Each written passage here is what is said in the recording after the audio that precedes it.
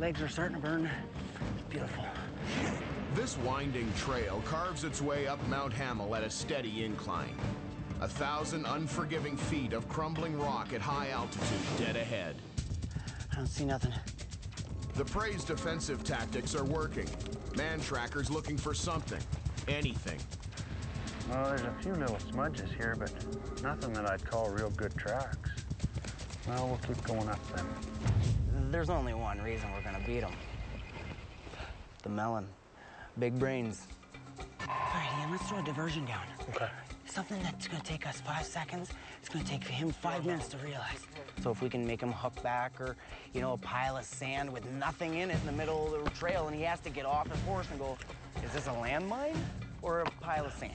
Is this a trip? Why, what, why is there a pile of sand in the middle of the trail? So he's gonna get off and he's gonna look at it and he, he's gonna kick it and realize it's just sand and that's gonna get us in, into his head. These guys are playing games with me. Which just him getting off his horse kills a minute right there. The more we get into his head, the more bad, the more mistakes he's gonna make, and we're gone. And we're gone. And we're gone. And he's just gonna stop and go, what the heck is this? Even with socks covering their shoes, the prey can't shake their hunter. The sun's low angle is exposing some flat, shiny imprints. We can see their tracks here going down the road. They're, they're kind of shiny spots, flat, where they flattened out the dirt. It's a little bit loose. Yeah, so you get up here and you can hardly see them. That's right.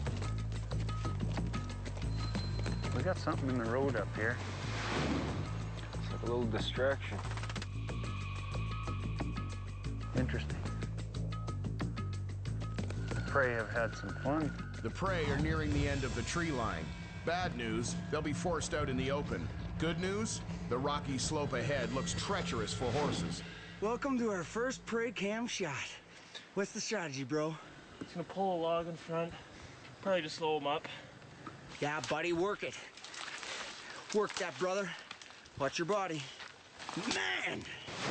We, I guess if there was mind games being played with Mantrack, we wanted to let them know that, you know, we're not just gonna sprint away from you. We're not, you know, we're not that scared.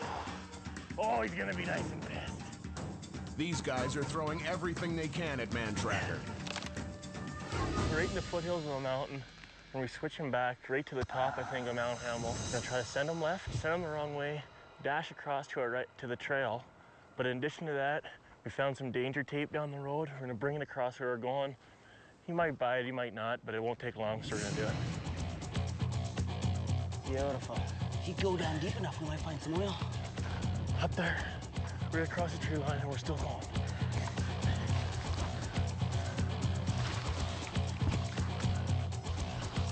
Off the top of your head, what do you think you'd bring?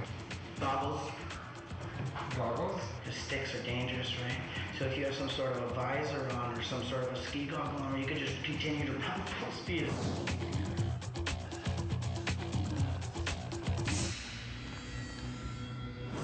Early industrious little beavers. They want me to get off my horse and move it, I will. Well, that might have gained them 30 seconds. So let's keep our eyes peeled. We're gonna be exposed for the next 45. There's nothing up there. Mantracker bites on the false tracks, but that doesn't matter now. He spots his prey. See those guys up there? Yep. They could be sucking a bit of wind here. Coming from almost sea level, going up over 7,000 feet. Air gets pretty thin if you're not used to it.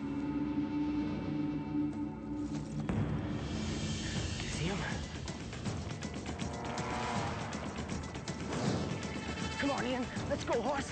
Come on. Holy crap, well, this country's tough. Goddamn rocks are tougher. All right, let's rock this. Um, yeah, we, we definitely had to pick up our pace at that moment, and, and we just made the choice, hey, there's no point in following the trail. That's what he's got to do. Let's just get to the top and just keep running directly up the mountain. Yeah, I could cripple a horse in this stuff. Mantracker is forced to take it slow. Every step carries potential disaster for the horses. Horse steps on one of these, you get a hell of a stone bruise and nothing flat. Feeling safe and feeling cocky, with a decent jump on their tracker, the prey send a message. I've been waiting for this one. just to let them know, you know, you know, you don't scare us. We'll throw a frisbee down there. We're not trying to hide. Like here we are. See the frisbee? Oh yeah. Good shot, Hoss. Look at that thing fly. They're wondering what that was.